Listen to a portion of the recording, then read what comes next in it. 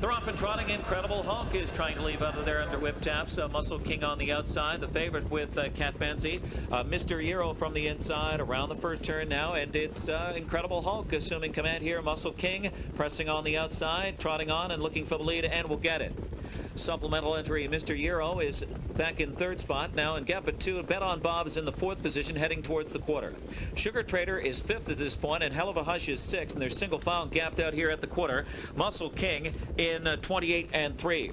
Not much pace up front here. Off the turn and down the backstretch. Muscle King, a comfortable length and a half uh, leader down the backstretch with the Catman. Incredible Hulk is second. Off stride with Bet on Bob. Bet on Bob is on a break now. Mr. Eero is close up in third now as the gaps fill, the top three anyway, gap at two lengths, and uh, Sugar Trader is closing in, is fourth now and a little closer. Then it's Hell of a Hush, followed by the breaker, Bet on Bob far back.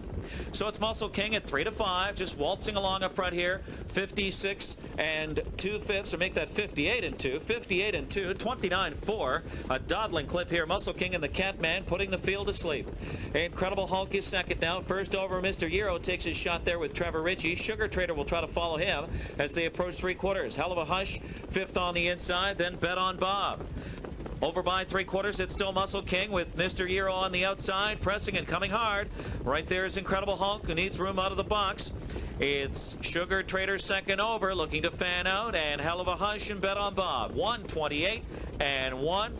Uh, 58 and 3 middle half for Muscle King who will try to hold on. Mr. Eero on the outside is well meant. Mr. Eero very game trying to wear down.